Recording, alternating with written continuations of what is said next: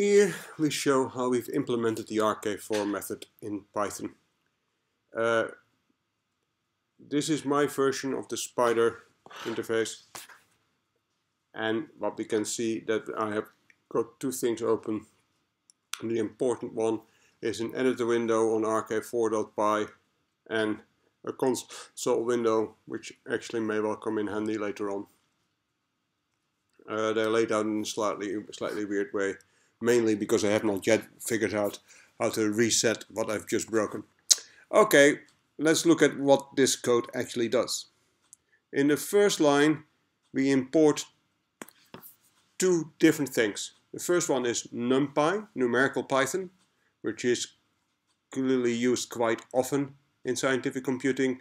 The other one is pyplot, which is an onderdeel of matplotlib, as, and we import both of those as NP or SPLT, so we can call these in a shorter way. Then in line 7, we actually declare omega squared. Omega squared is just essentially what it says, is the square of the frequency for the harmonic oscillator, which is a parameter we do.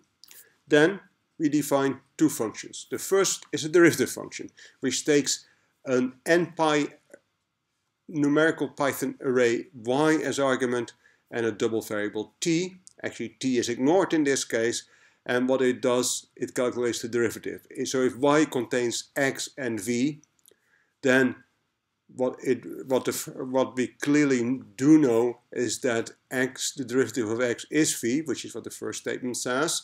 And the second derivative says the derivative of v is the acceleration, which is minus omega squared times x, which was the second element says. So that's why we do it that way.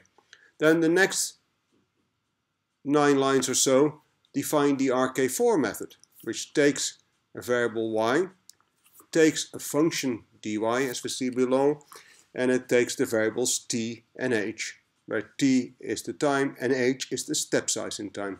And it then does exactly what the RK4 method is supposed to do in four steps, K1, K2, K3, K4. You've seen this before, and it does the standard calculation where we calculate y by incrementing it in a sensible way. We also increment t and then we return the pair t and y because that's the most useful thing to do.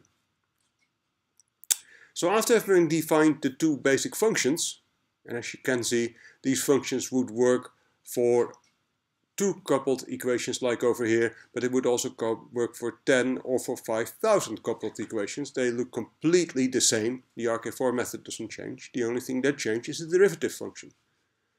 So let's look at what next we need to do. We need some initial values.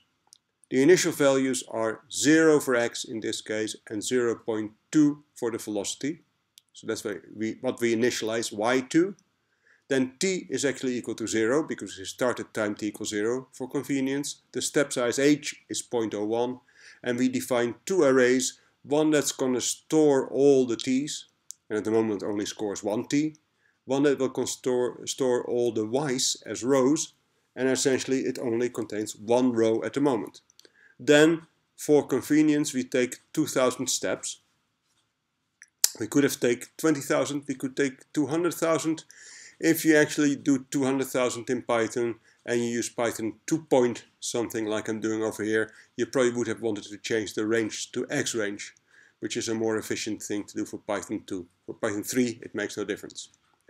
Then we extract t and y from having taken the step, so that updates t and y, and we append the t to the list of t's, and we concatenate y to the list of y's. The concatenation really means that y will have rows of each length 2. So y will be a 2 by n, an n by 2 array, so two columns.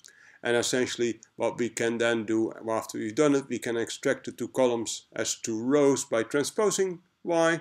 And then we can do some plots. We can plot t versus y1, so that's t versus x, t versus y2, t versus d by dt of x, and we can also plot y1 as a function of y2.